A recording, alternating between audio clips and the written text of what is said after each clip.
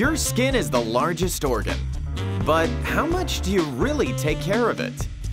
Are a healthy diet, lots of water, and stress reduction enough to keep it looking young no matter your age?